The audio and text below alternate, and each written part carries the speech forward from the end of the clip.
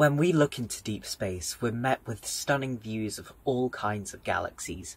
Ellipticals, lenticulars, irregulars, and of course our beloved spirals, which is the topic of today's video. Even within our local group, we have absolute beauties such as the Andromeda Galaxy, the Triangulum Galaxy, and of course the Milky Way, which we can't take third person images of because we're inside it, but we can make really good impressions based on the best data we have, such as this one, which was made by Stefan Payne-Wardenaar, JPL Caltech, and of course ESA, which has all these lovely extra annotations and labels on as well. Hold on, that doesn't actually look all that flat now, does it?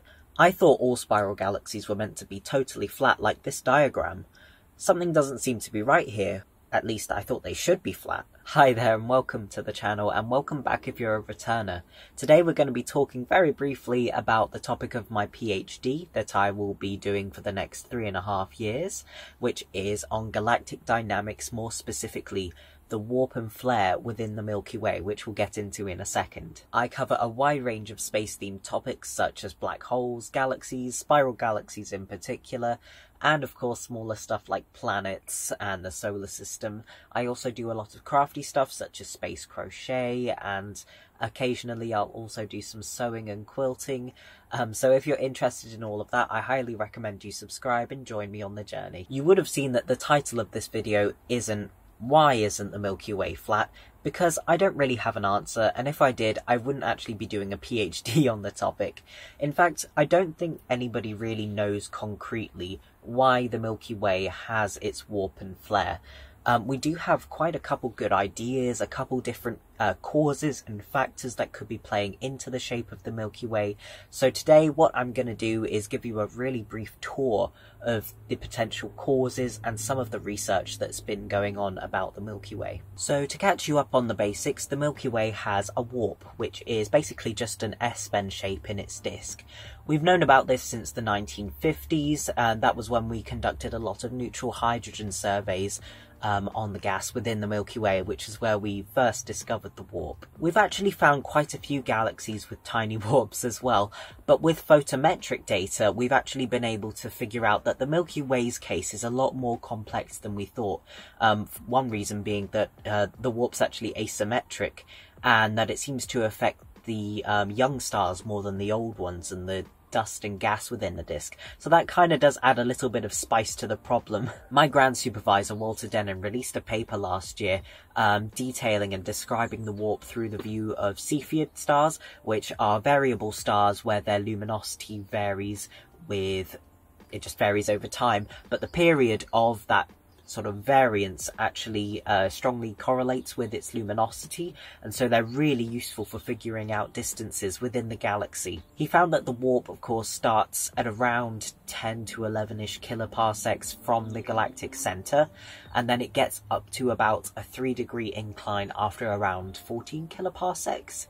So to you that's quite a small warp, but it actually is quite noticeable in terms of the data. As a side note, if you want to go look at papers, which I highly recommend you do, um, some papers actually use the term or they use uh, the Fourier azimuthal term, which is just uh, the letter m, and it can go from 0, 1, 2, or any integer upwards. Um, this is essentially just um, a way of sort of describing or detailing the sort of order of perturbation or disturbance. Um, so for m equals 0, um, that just is an undisturbed state, so there's no warp. For m equals 1, which is what the Milky Way has, we believe, is an S-bend shape. Also, on one side you've got one bit going up, on one side you've got one bit going down, and then for m equals 2, it's essentially the same thing, but it's quartered up. So you've, I'll pop up a picture because it's easier to explain. But one quarter goes up, next quarter goes down, other quarter goes up, next quarter goes down. Um, I don't think we've actually seen this much outside in the universe. Um, and for the purposes of the Milky Way, it's only really useful to consider the m equals 1 case. Dr. Eloisa Poggio has some, or Poggio, I don't know which way to pronounce it, has some really good diagrams in their papers um, that sort of explain the different terms really well. Um, so I'll pop one of those up as I'm talking, of course. Um, but I also recommend reading up on all of their work because their work is just a big gold mine. Um, the other problem, of course, is the other half of the equation, that is the flare. So this is where the stars and gas, essentially at the very edges of the disks, and, uh, tend to have quite um, big vertical displacement from the disk. So it quite literally does as it says, it flares out. Um, I haven't actually seen much discussion on it, but that's probably because I'm very new to the topic and haven't read all of the papers that we have so far. Um, but of course, I'll also be trying to figure out some stuff around that too. There have been numerous studies looking at the effects of one or potentially even two causes at a time and sort of modelling those disturbances and seeing if we can get a warp similar to what we see with observations. The general consensus seems to be that um, we know that the Milky Way has and still is interacting with satellite galaxies and of course neighboring galaxies as well.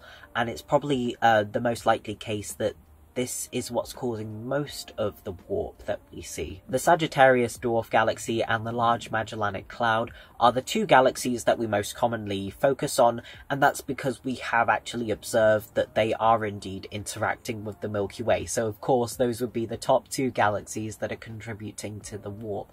Both have actually been studied independently and I believe also together, and they have been shown to produce a S-bend or m equals 1 warp over the course of a couple billion years, which, yeah, sounds about right. One thing though is that a lot of these papers that I've read, they tend to, yeah, they produce that warp, um, and, you know, of the right timescales, but they don't exactly match it perfectly, which is un- completely understandable.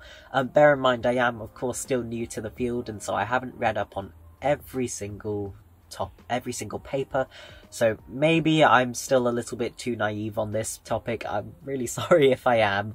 Um, but one thing I did notice is that we tend to stick more to the gravitational aspects of these interactions, which I think makes sense, of course. Um, but you know, there are other things that maybe would be useful to sort of uh, mesh all to tie together um, with the simulations, such as you know maybe like a misaligned angular momentum or misaligned gas infall. In the case of the Sagittarius dwarf galaxy, um, it probably already has been covered before, but I just haven't seen it yet.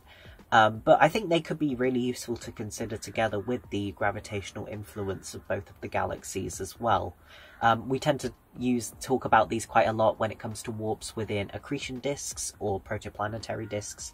So I don't think there's any harm in maybe having a look at, you know, its effects on galactic scales.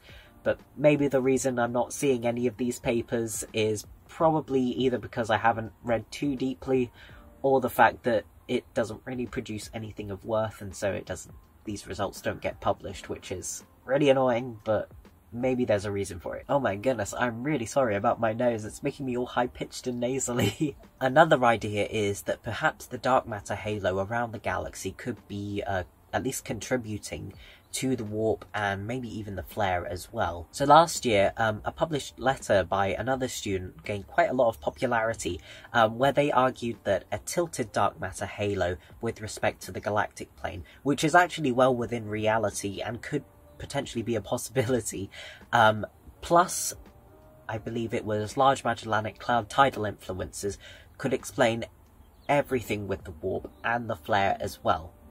At least their conclusion said this. I couldn't really see it that much with their results, um, but one thing you have to remember is that if you want to publish with, you know, big journals such as Nature and Science, you do have to fluff up your conclusion a lot more to try and get uh, increase the possibilities of things getting accepted. So, I mean, they did the right thing, but I just I couldn't really see it very well with their results. But you know, it is the start of a really interesting uh, avenue to explore, so maybe I might want to try and do something with that as well. One thing I really liked about the paper is that they focused on two uh, causes mixed in together, uh, which is quite unique because a lot of papers I've seen focus on one topic or one cause at a time, and this makes sense. Our computing power isn't, you know, infinitely good. You know, we can only pick and choose certain things that we want to model.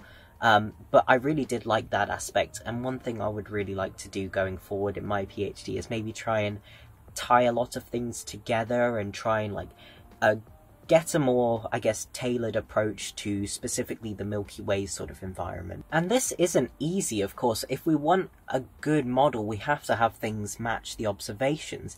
And the observations are, are quite quite uh, nasty as well because one we have to actually match the level of the warp of course and make sure it's actually of the same sort of degree of warping we also need to make sure that the warp is precessing um, after about I think was it 10 or 11 kiloparsecs and then it drops to about half that rate at around 14 kiloparsecs.